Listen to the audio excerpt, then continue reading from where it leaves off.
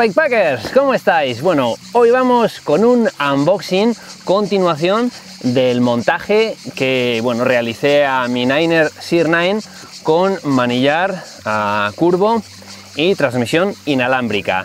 Así que un poco para ajustar la posición sobre la bicicleta, hoy venimos, eh, bueno, os voy a presentar un unboxing de material para ajustar eh, la posición sobre los tres puntos de contacto.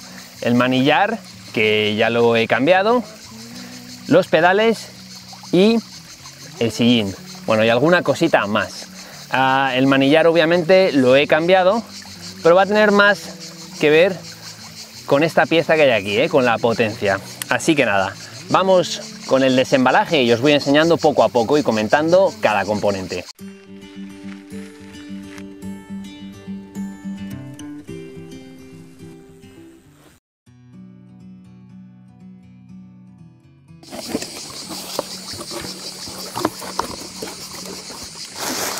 Vale, pues venga, vamos a ir viendo lo que lleva la caja.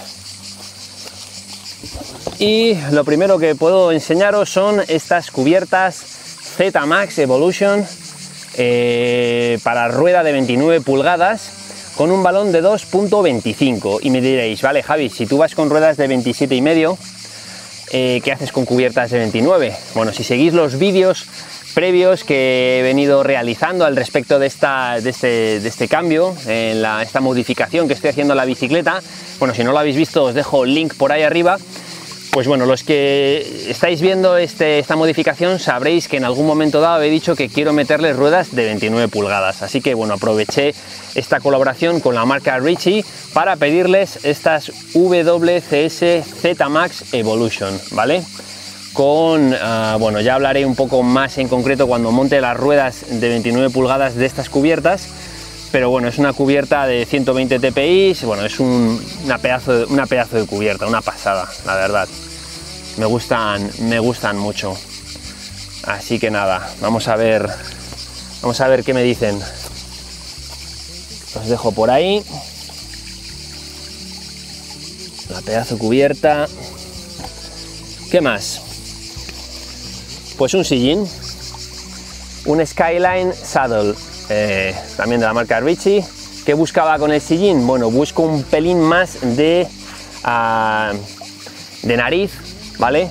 Para poder buscar, digamos, más uh, distancia en la que poder moverme sobre el mismo, sobre todo especialmente en las subidas, poder meter más peso en la nariz y puesto que ahora digamos que llevo una posición más neutra, no la llevo tan atrasada, ya no necesito una nariz tan corta como en este sillín Duo Power de Specialized que llevaba hasta ahora, que estoy llevando hasta ahora previamente.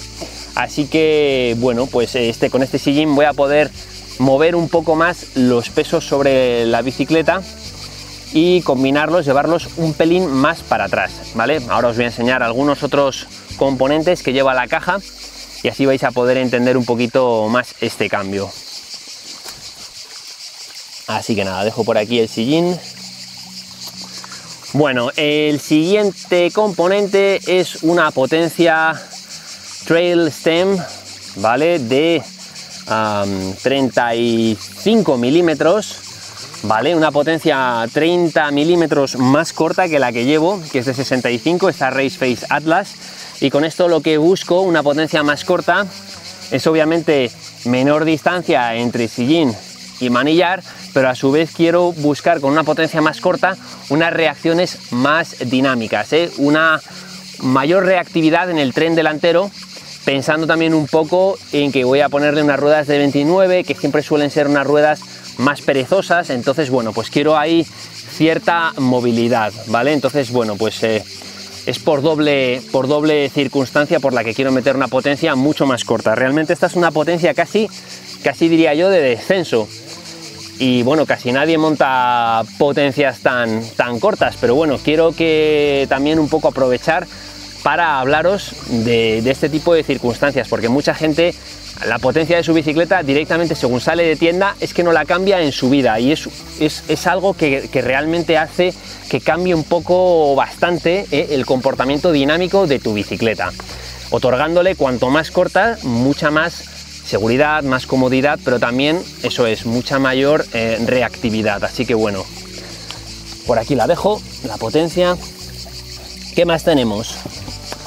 Bueno, aprovechando eh, la posibilidad de poder eh, cambiar los componentes, los elementos mediante los cuales estamos en contacto con la bicicleta y que tenía también estos pedales Crank Brothers ya un poquito viejos, que además no tienen muelle ajustable ni nada, tenían el, muelle ya muy muy suelto, pues les pedí estos pedales con cierta plataforma, unos WCS Trail, peso de 347 gramos, con muelle regulable, con llave Allen, en fin, un pedal bastante, bastante serio. Así que nada, con este pedal, pues bueno, eh, poder eh, estrenar zona de contacto en la zona de la transmisión. Aquí os enseño. A ver, que la lío. Y por último, por último, tengo una cinta de manillar. Les pedí una cinta de manillar, bueno, pues de alguna manera para poder completar este, este set ¿no? de, manillar y potencia. El manillar ya sabéis, un Venture Max eh, tamaño maxi de 52 centímetros. Así que bueno, para poder completar digamos esa experiencia Richie, pues bueno, tener eh, potencia, manillar y cinta de la misma marca. Esta en concreto es un modelo Race Hell. Así que bueno, ya os digo, aquí tenéis el unboxing al completo de los productos que me han enviado desde Richie Europa. A, bueno, a quienes agradezco muchísimo esta colaboración y, y bueno, ahora tan solo faltaría de alguna manera hacer el montaje del material y empezar a contaros un poco, bueno, pues por qué, por qué, por qué he realizado estos cambios y cómo van a, qué efecto va a tener, efecto dinámico va a tener sobre la bicicleta. Así que nada, os animo a que os vengáis conmigo y montemos todos los nuevos componentes sobre la bicicleta. Venga, vamos.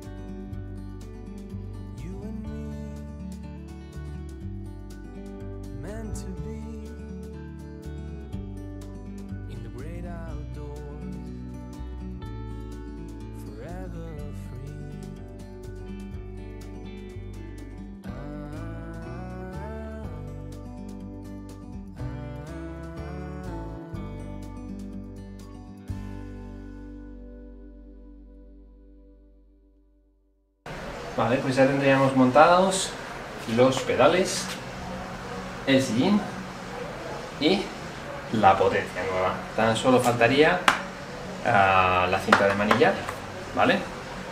Y las cubiertas Z Max para rueda de 29, que haré el montaje cuando tenga rueda de 29. Mientras tanto, bueno, voy a seguir con estas Maxi Recon, así que tan pronto como las tenga haré el montaje con vosotros y mientras tanto voy a montar la cinta de manillar, una Race Bar Tape.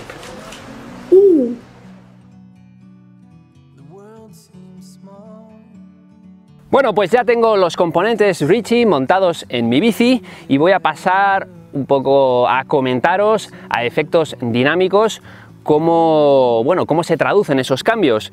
Ya sabéis que bueno, he realizado cambios, tres cambios fundamentales más o menos en las tres zonas de contacto entre la bicicleta y el ciclista.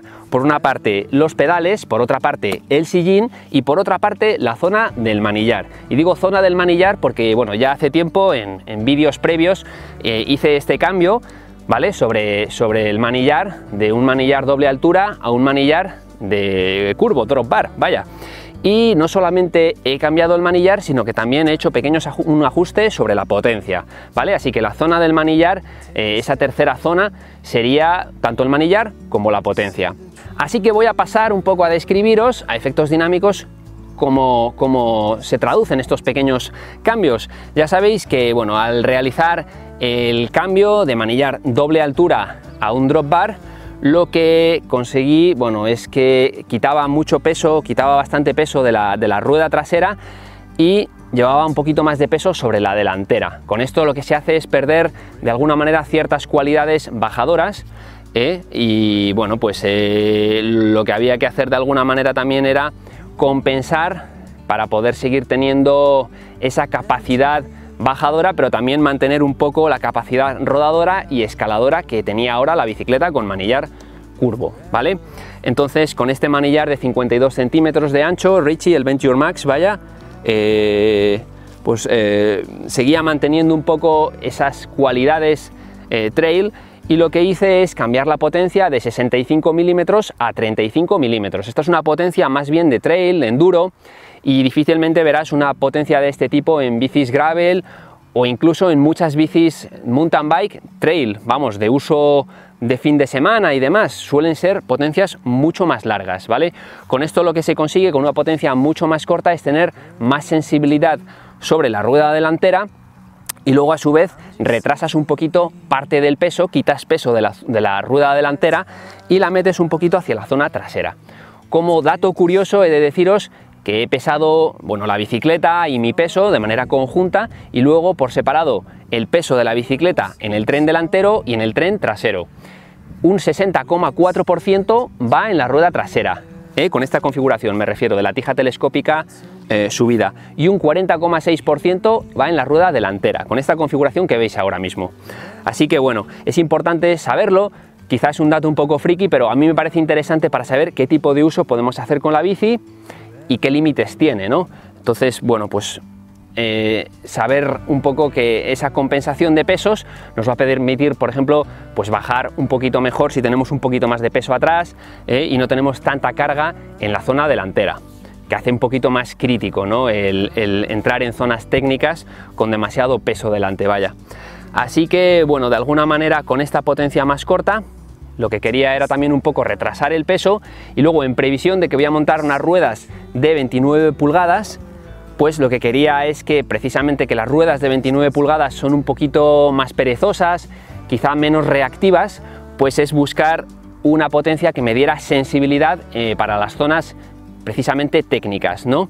Así que, bueno, pues es un cambio que también está hecho un poco en previsión de futuro y ya os digo, la verdad es que me gusta bastante, ¿eh? sí que es verdad que en subidas se pone un poquito más nerviosa, en subidas técnicas la dirección es un pelín más nerviosa, pero para eso eh, he metido este sillín, ¿vale? Os voy a hablar ahora un poquito del sillín, que como podéis ver tiene un poquito más de nariz que el que tenía antes, en concreto 30 milímetros más. Antes llevaba una distancia entre manillar y sillín mucho más corta, entonces ese, ese sillín con una nariz más corta me venía fenómeno, ¿vale? Para, no ir tan adelantado. Eh, ahora que tengo una posición, digamos, más, más para llanear, para escalar y eh, quizá menos para bajar, necesitaba una, un, eh, un, sillín con una nariz más larga, primero por una parte para poder eh, ser más eficiente pedaleando, ¿vale? Para poder ir más encima del eje de pedalier y poder ser más eficiente a la hora de pedalear, ¿vale? Es algo que hacen mucho los triatletas, llevar una posición muy avanzada sobre la zona del pedalier. Entonces, bueno, para compensar también esta distancia entre manillar y sillín, opté por un sillín más largo, que además también no solamente llaneando, eh, sino subiendo también me permite en un momento dado apoyarme en la punta del sillín y meter más peso en la rueda delantera para que no, esté tan nerviosa ¿no? la dirección y la rueda delantera, que traccionen bien las dos ruedas y así no derrape y pueda salir prácticamente en zonas eh, igual de técnicas eh, por las que pasaba previamente. Así que bueno, en ese sentido he ajustado un poquito los pesos y bueno, creo que es importante que, sepáis, ¿no? Poder jugar con este tipo de cuestiones, puesto que, bueno, pues los sillines obviamente se pueden adelantar, atrasar, ya os digo, las potencias se pueden cambiar, ¿por qué no? Yo es que veo que hay mucha gente que sigue manteniendo, digamos, la potencia con la que salió de la tienda su bici, de yo que sé, 70, 80, 90 milímetros y, jamás ha hecho un, cambio. Entonces, bueno, yo creo que fundamentalmente este vídeo es un poco para incitaros a que, bueno, porque probéis sobre todo cosas, ¿no? A cambiar eh, la potencia, ponerla más corta, más larga y ver mm, qué diferencias, efectos dinámicos tiene. Así que nada, ya os digo, el sillín un poquito más largo para compensar todos estos cambios y poder ayudarme más eh, tanto llaneando como escalando, ¿vale? Y compensar un poco eh, quizá ese nerviosismo o mayor nerviosismo en la dirección merced a la potencia un pelín más corta. Y bueno, al respecto de los, de los eh, pedales, pues he optado por unos pedales de una plataforma un poquito mayor, para poder tener más apoyo. Es un pedal que puedo incluso llegar a utilizar con zapatillas de enduro sin, sin cala SPD y bueno, me parece bastante, bastante interesante, la verdad, es un, es un punto también importante, la zona de, la zona de, de apoyo y de transmisión de, la potencia, ¿no? desde nuestras piernas hasta los pies y la verdad es que los pedales que tenía antes ya tenían el muelle bastante holgado y había ahí alguna pequeña pérdida de potencia, casi seguro, no lo había medido, pero vamos, casi seguro.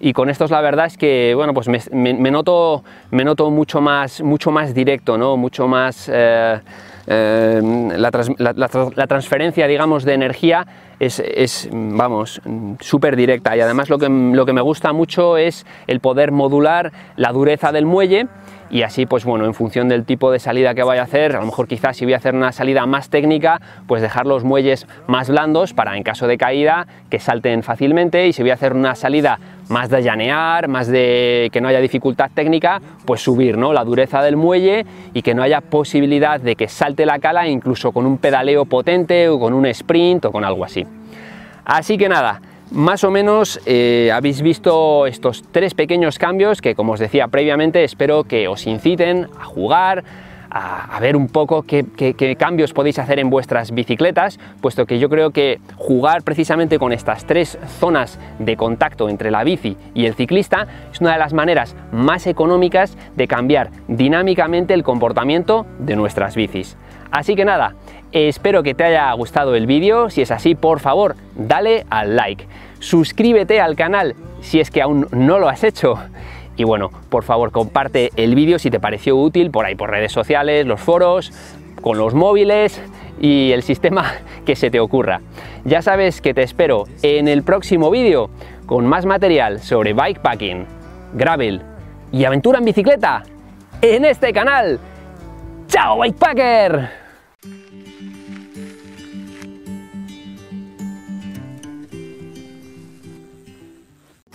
Packer!